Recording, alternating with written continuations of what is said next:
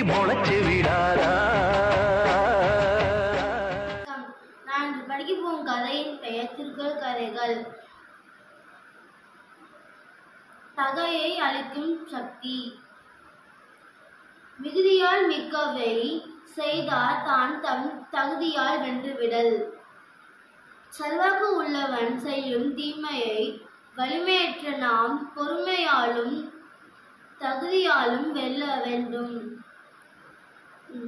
இத்தாலிய ஆட்டுக்கு கவி கவிஞனாக பா தாசோ கவியரசனாக கவி கவி சக்கரவர்த்தியாக கொடிகட்டி பறந்த சமயத்தில் அவன் நண்பர்கள்.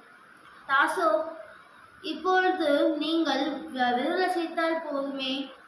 உன் பகைய ப- பகைவர்களை அழிக்க பல அதிகாரிகள் முன்வருவார்களே. அப்படி இருக்கும். ஏன் அப்படி இருந்தும் ஏன் நீங்கள் பேச மாட்டேங்கிறீர்கள்? என்று கேட்டனர். பொறுமையும் கருணையும் ரெண்டும் தகையை அளிக்கும் சக்தி உண்டு என்றார். ஆம். அகன் அகண்டையும் பொறாமையும் கொண்டான் கொண்டு தீங்கு செய்தவர்களை தீங்கு செய்தவர்களை சகிப்புத்தன்மையோடு ஜெயிக்க வேண்டும் என்ற கருத்தில் கொண்டு நாம் நடந்து அதை மெய்ய மெய்ய மெய் என்பதை நிரூபிக்க வேண்டும்.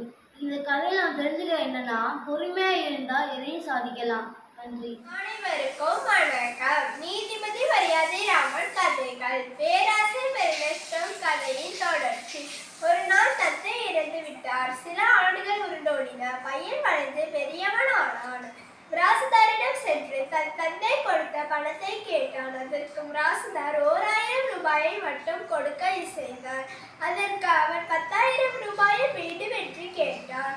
அவர்கள் இருவரும் சம்மதிக்காததால் இவ்வழக்கை அவ்வூர் பஞ்சாயத்தாரிடம் விட்டனர். இது நியாயமாக இல்லாததால் பையன் இவ்வழக்கை நீதிபதி மரியாதை ராமனிடம் எடுத்துச் சென்றான் மரியாதை ராமன் இவ்வழக்கை விளக்கமாக கேட்டுக்கொண்டார். நீதிபதி மரியாதை ராமன் ராசுதாரை அழைத்து நீ பையனுக்கு எவ்வளவு கொடுக்க விரும்புகிறாய்? என்று கேட்டார். நான் வந்து இந்த கதையை படித்து புரிஞ்சுக்கிறத இப்போ உங்களுக்கு சொல்கிறேன் ஒரு நாள் வந்து அவங்க அப்பா வந்து இறந்துட்டாங்க. அப்புறம் வந்து கொஞ்ச நாள் கழிச்சுட்டு கொஞ்ச நாள் அப்படியே போச்சு. அப்புறம் வந்து அஹ், அப்பா வந்து காசு வந்து கொடுத்துருந்தாருன்னு சொன்னேன்ல அவங்க ஃப்ரெண்ட்டை அவங்க ஃப்ரெண்ட்டை போயிட்டு கேட்குறாங்க ஆனால் அவங்க அந்த பையன் கேட்டான்.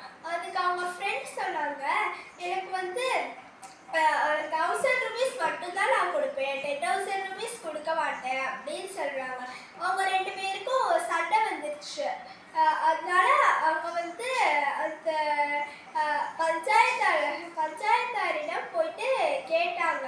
அப்புறம் வந்து அது என்ன நடந்துச்சு? என்று கேட்டு நீங்கள் எவ்வளோ அப்படின்னு அந்த அவங்க ஃப்ரெண்ட் அவங்க அப்பாவோட ஃப்ரெண்ட்டை அவங்களும் கேட்டாங்க.